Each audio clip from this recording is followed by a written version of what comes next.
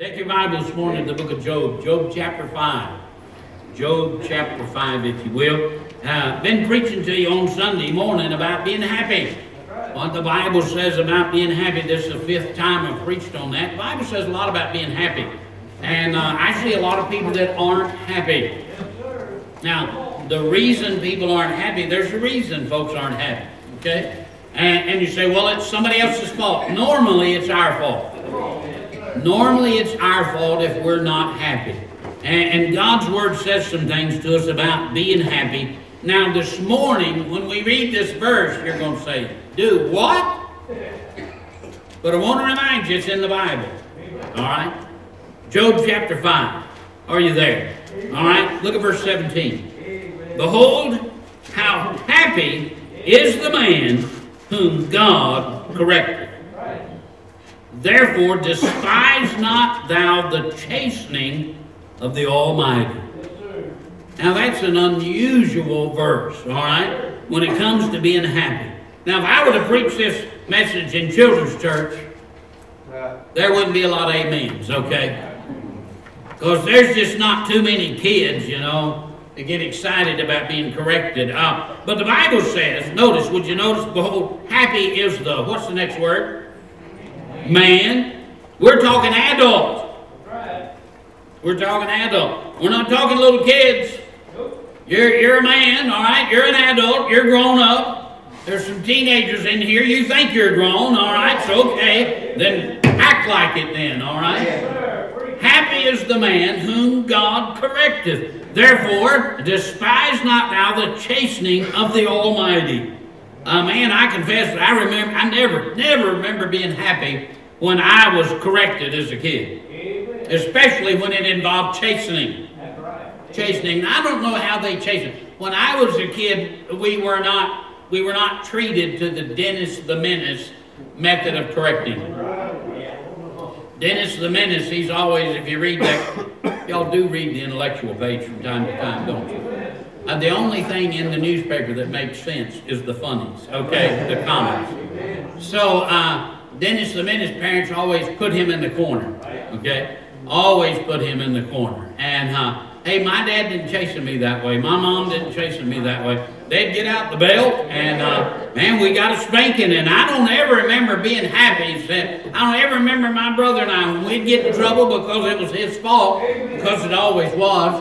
Uh, but we'd get in trouble and we'd get a spanking. I don't ever remember looking at him and say, "Well, I sure am happy." No, sir.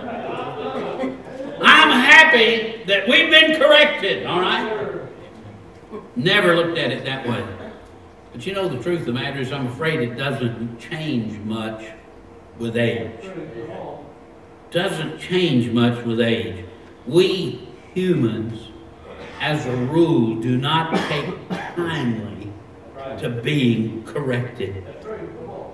We don't like to be told what to do, much less do we enjoy being told what we're doing is wrong. Man, we just don't go for that. We get upset. We get mad. We get bitter. Sometimes you see people storm out when they're corrected. You hear things like this. Who do you think you are? Oh, yeah, come on. Or, well, I guess you never did anything wrong. Or, well, of all the nerve.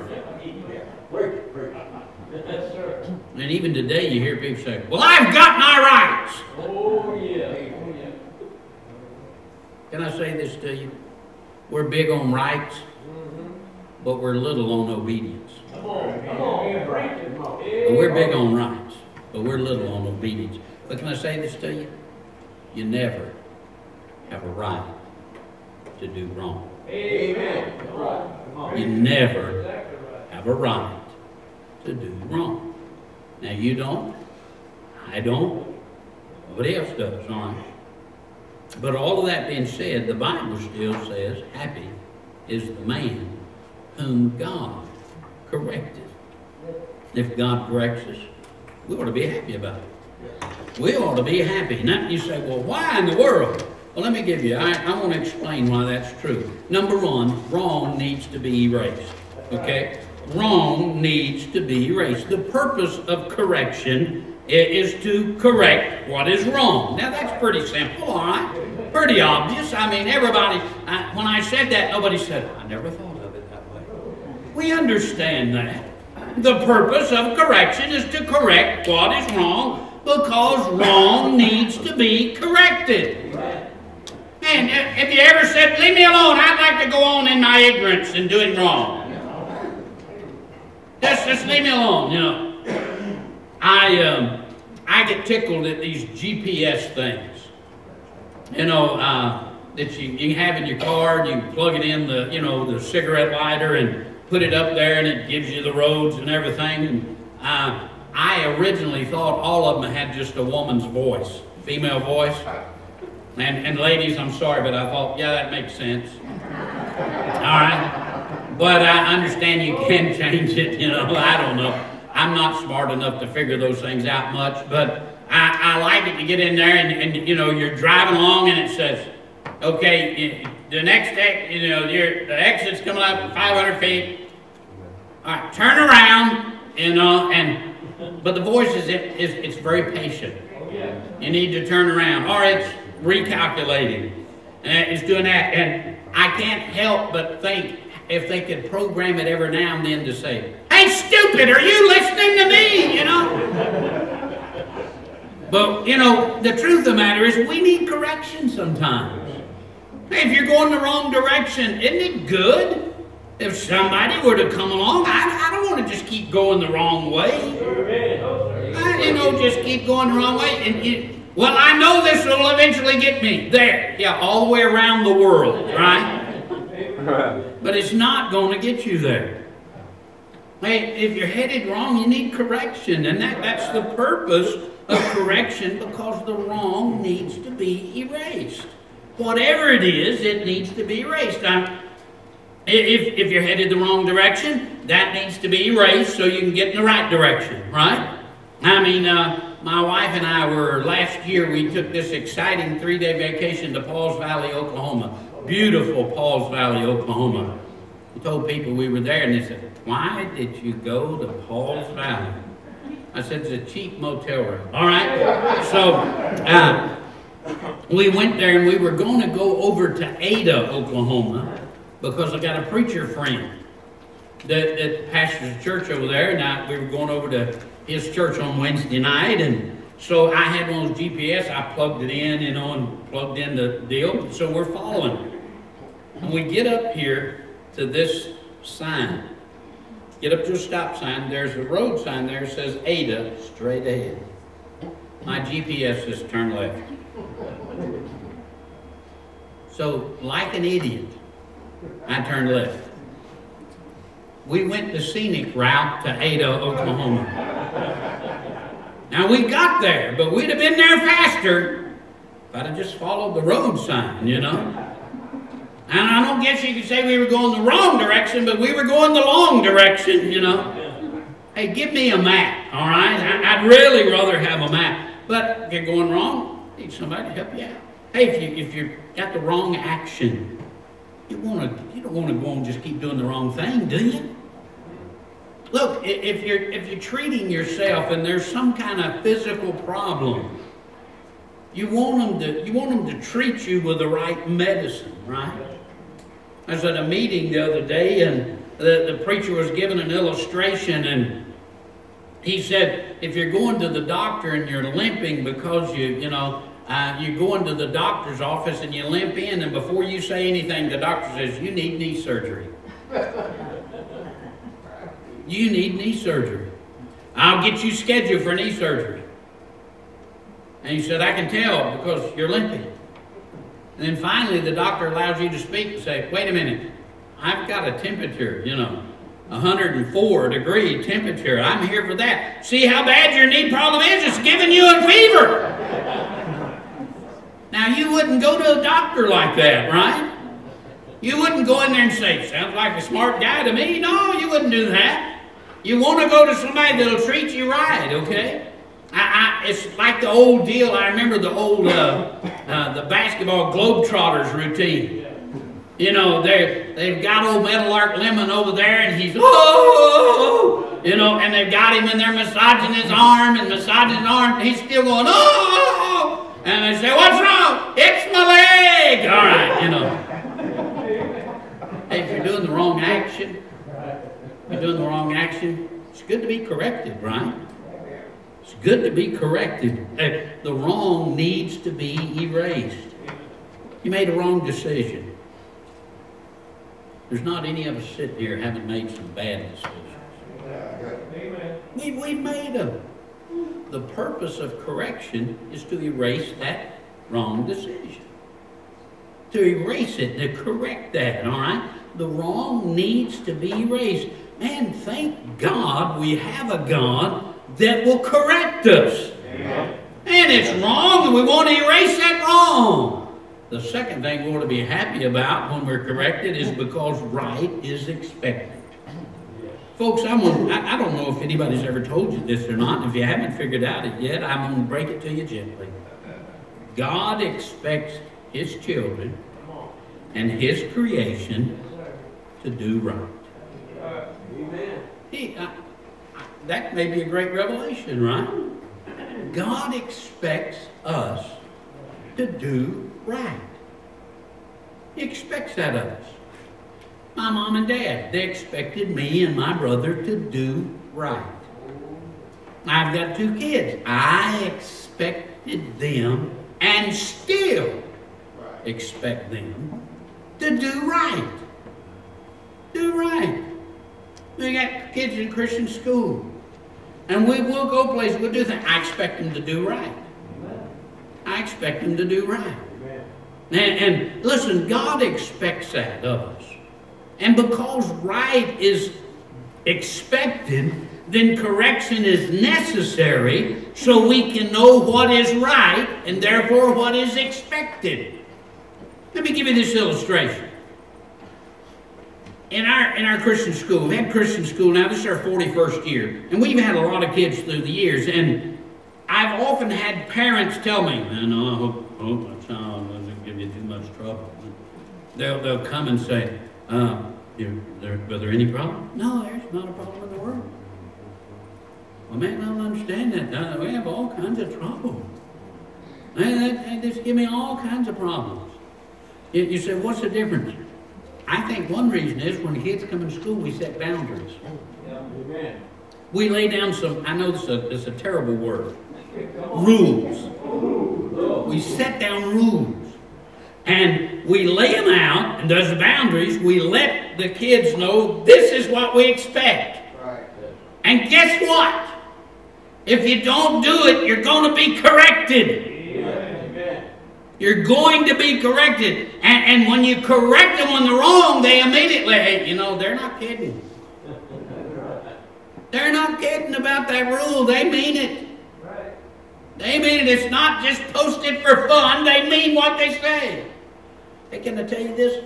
What God says here is right. Yes, He means it. He means for you and I to live according to this book. Amen.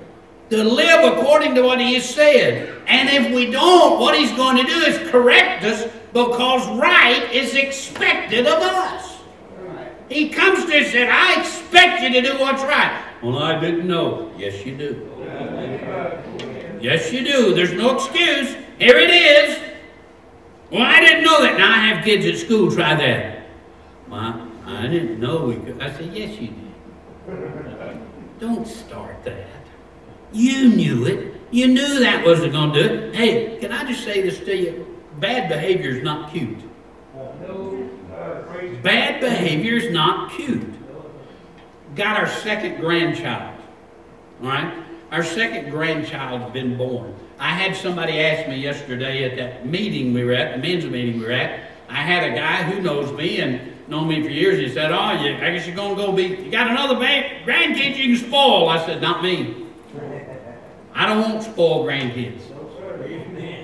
I don't want spoiled. Hey, when they come to my house and they do stuff that's cute, but it's wrong, we correct it. Amen. We don't go, isn't that cute? Because I found that two-year-olds, when it's cute, they do the same thing at 16, and it ain't cute at 16. You gotta correct it when they're little. You correct them when they're young, and then they know what's expected. Folks, that's why God corrects us. That's why God corrects us. You know, you, you've tried, you, you, you've tried to teach, and you've tried to instruct, and, and sometimes those kids still do wrong. You know, uh, they, I, I remember I've told this, uh, you know, we, we sat down with our kids, and you'd set this hot pot on the table, and you say, Watch it hot, hot, hot, hot, you know. It's hot, watch how it'll burn you. Kids, what can you say? You know, they just got this problem. And it would be different except we're the same way, all right? And they got to touch it. I told you it was hot. I told you it was hot. You say, well, I don't do that. Yeah, that's why you come to a sign that says wet paint and you touch it to see if it is. You touch it. All right.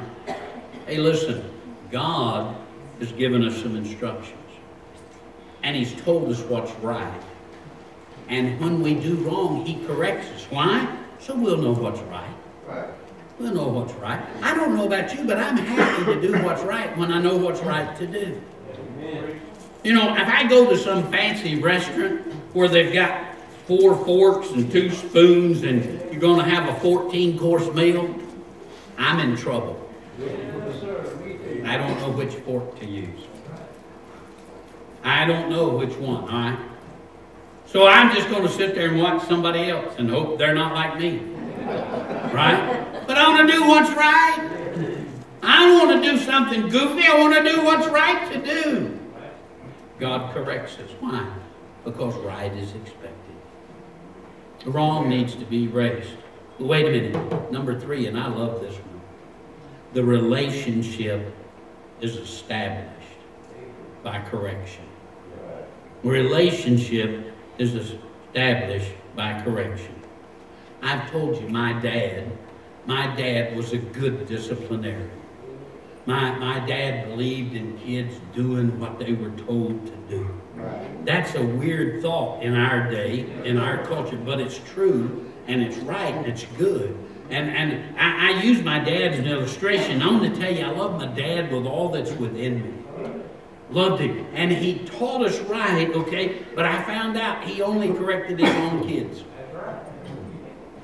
He only corrected us. My brother and I, we'd be outside doing something. We were with a group.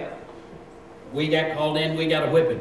Well, whip them too. They're not my kids. They're not my kids.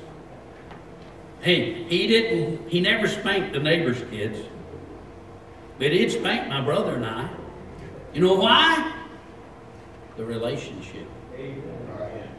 The relationship that was there. Uh, when God corrects you, that's confirmation you're his child. Uh-huh. That's confirmation you're his child. And you are. You know, I, why? Because he corrects you. he corrects you. This belief in what's known as the fatherhood of God and the brotherhood of man, that's false. Yes, sir. Amen. That's false. God is not the father of everyone. Now I say, wait a minute, preacher, what, what are you talking about? Wait a minute, don't get mad with me. Come on. True. Um, I've got two kids. Yes, sir. I've got two kids. Now, I love some of you the way I love my kids, but you're not my kids, okay? You're not my kids. I've got two. You know how I got them? I found them under a rock. Amen. No, they were born into the family. They were born into the family. Right. Listen, that's the way God becomes your father. Amen. When you're born into the family of God. We say, well, how does that? When you're born again. That's when Jesus told Nicodemus, you must be born again. And until you're born again, you're not born into the family of God. Amen. Now, you might be a member of the human family, but you're not in God's family until you get that second birth. That's what the Bible teaches, okay? That's what the Bible teaches. But once you're there, there's a relationship. Go with me to Hebrews. Over in the book of Hebrews, chapter 12. Over in the New Testament. Man, you talk about happy to be corrected. Yeah, because I know it establishes that relationship. Uh, a father only corrects his own children. In Hebrews chapter 12, beginning in verse 5, I want you to look at these verses with me, would you? What wonderful truths we find here in the Word of God. In Hebrews chapter 12, verse 5. And ye have forgotten, all right, ye have forgotten the exhortation which speaketh unto you as unto children. My son, despise not thou the chastening of the Lord, nor faint when thou art rebuked of him. For whom the Lord, what's that next word? Loveth. He chasteneth. And scourgeth every, what's the next word? Son whom he receiveth. Hey, listen, he corrects you because you belong to him. He corrects you because you belong to him. Uh, you know that you're you're his child. He corrects you because you belong to him. I started to say I've never spanked anybody except my kids. That's not true. I've spanked some other kids. All right. Uh, Ms. Smith over here, Sue Ellen. I never spanked her, but I spanked her brother. All right. She was an angel. He was on the other end. Uh, no, that's not true. Uh, but I, I spanked him. He said, Well, why'd you do that? Because I was standing in the position of the parent when I spanked her brother. Amen. All right? I was standing in the position of parent. Parent said, Yep, you do that for us. And so I spanked him. All right, I spanked him. Now, and, and there were some others, but only in the position of the parent. Amen. Amen. I'm not going to just go down the street and say that kid needs a whipping and whip him, all right? If I did, I would not be standing behind this pulpit. I would be standing behind bars. All right? You can't do that. And that's a good thing. Amen. Wait a minute, though. Whom he correcteth, you know who he corrects? Those that are his children. What a relationship. That confirms your relationship with the Lord when God corrects you. But not only that, it's proof that he loves you. It's proof that he loves you.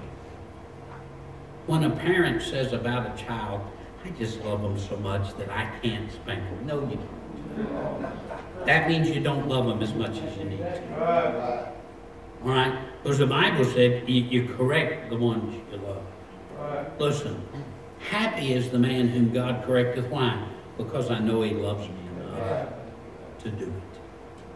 I know he loves me enough, he cares about me enough to let me know when I am wrong. Amen. Happy is the man whom God corrected. Hey, he loves you. He wants the best for you. He wants the best for you. You said, Preacher, you talk about spanking your children. Why'd you spank them? Because didn't want them to grow up to be a hoodlum and go to jail. Right. Exactly. Didn't want them to grow up to be some kind of punk. Right. I wanted them to grow up and learn to respect people. Amen. I wanted them to respect property. So I corrected them. I, I wanted them to have that respect. Hey, I'm glad my dad loved me enough and my mom loved me enough to correct me. But wait, I'm so glad my heavenly Father Amen. loves me enough to correct me. Right. I'm happy. Now, wait a minute. I didn't say the chastening was fun, but I said I'm glad he loves me enough. Amen. I'm happy that he corrects me. Why? Because it establishes the relationship. You with me? Hey, listen, number one, wrong needs to be erased. Correction does. Right needs to be. All right. Right. It- it's so important that, that we know what right is. So correction does that. Helps us to know what's right. A correction establishes that relationship. I know he loves me. I know he loves me. I know I'm his child. And he corrects me. Happy is the man whom God corrected. Number four. righteousness is exalted. Righteousness is exalted. If you could, would you turn back to Job chapter 5? I want you to see. And, and you, I could quote it to you, I could read it to you, I could say it, but I want you to put your eyes on it, all right? I want you to put your eyes on it if you can, because it's so important. Notice, behold, happy is the man whom God correcteth. This is God that's doing the correcting. It isn't man. It isn't mama. It's God. God's doing the correcting. Now, it's God's business. Now, hear me. When God corrects you, He may use a man to do it. Oh, yeah. He may use a man to do it. It may be a man in a uniform. May be a man in a uniform. Could be. He may use that. Hey, it could be a man in a suit stands behind the pulpit, opens his book, and preaches to you. Why? Because God's got to correct us. God has to correct us. And He's going to do it if we're His child. But it's God's business of doing it. And when the child of God gets straightened out, righteousness is exalted. Because when the child of God is right with God, then that child produces that which is right. God's honored. God's honored. And it, He's lifted up.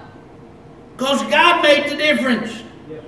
Hey, we, we've all heard about people who, man, had a life of uh, atrocious sin and, and maybe a life of crime and maybe even went to prison, but somebody somewhere got to them and opened the Bible and took the Word of God and, and testified to them and read it and witnessed to them, and they trusted Christ as their Savior, and it changed them completely. Amen. You know what that did? That exalted God. Because that one who was wrong found out what was right, got it corrected, got that relationship established, and righteousness was exalted. Amen. Made the difference. Made the difference. That's what God wants to do in you and I. All right? He wants to do that. He wants to make the child of God happy. I found as long as I was doing what's right, I was happy. I was happy. Now, and you know, I blamed a lot of things on my brother because it's mostly his fault. All right. No, not truthfully. I've done other things. I've done some things that uh, later on, you know, you, have done these things, and then you go, hmm, wonder if anybody saw it. I better get out of here. I better get out of here. And, and you take off running. And then for the next days, you're, because you've done wrong, you're not happy about it either. You're not happy about it. But happy is the man whom God corrected. When God corrects you, makes you happy. Makes you happy. Oh, I don't enjoy chastening. And don't misunderstand the message. I don't enjoy chastening. When I was a kid, I didn't enjoy getting a spanking. I never said, hey, Dad, I haven't had one in a couple of days. How about it? Just for fun. Wasn't fun. But can I say this to you? Made me a happy child. You know what? Made me a happy adult. As a Christian, God's correcting keeps me happy as a child of God. Happy is the man whom God corrected. Therefore, despise not now the chastening the Almighty. Let me finish this morning. Two things. If God's not correcting you, you might not be his child. God's not correcting you, you might not be his child. Preacher, I've heard you preach on those things. I've been doing those things for years, and I, nothing ever happens to me. Maybe you're not his child. So what are you saying, preacher? I'm saying maybe you've never been born again. Now, I didn't say he doesn't want you as his child, because he does. That's right. He does. He wants you as his child. He sent his son to pay your sin debt, Right, right. to pay a debt you couldn't pay, and nobody else could pay for you, but he paid it. And he comes and he offers you the gift of eternal life if you'll just trust him and call upon him. Ask him to save your soul. Right. You can become his child today. But I want to say to you, if you never get corrected by the Lord, maybe it's because you're not his child. I'd think about that. I'd be worried about that. I'd be concerned about that. I'd be concerned. Wouldn't want to go through life that way. He'll save you today if you'd come to him. Amen. Hey, if you're not getting corrected by God, and you, you're doing your own thing and living in open rebellion to the Word of God, maybe you're not His child. Secondly, let me say this if God's correcting you, don't fight Him. Don't fight Him. Get right. Get right. You want to be happy? Let Him correct. Let Him correct you. Chastening's not enjoyable, but it's enjoyable to be right with God. Oh, it's enjoyable. He's correcting you. Don't fight him. Don't despise, the Bible says, the chastening of the Lord. Get right. Get right. Do what you know you want to do. Let the hand of God blessing be able to be back on your life. Okay, happy is the man whom God corrects. And it's thrill to be corrected by him. But if he's correcting you, don't fight. If he's not correcting you, maybe you need to get in the faith. Would you do that today? Would you stand, please, with every head bowed and every eye closed? We get ready for the invitation time, listen, it doesn't do any good for you to listen and God to convict your heart if you don't do something because of his convicting power. If he speaks to you, then you need to move. If he speaks to you, you need to move. If, he speaks to you and he's convicted you somewhere in the message, and you need to you need to step out, you need to come and either kneel at one of these front steps or one of these front pews. Can't kneel, have a seat there, and do business with God. Maybe need to confess sin, then confess it. Ask for forgiveness. May you know there's some things that aren't right, then come get them right. And my friend, if you're here and you've never trusted Christ as your Savior, I'm pleading with you today. Would you trust Him today? Would you trust Him?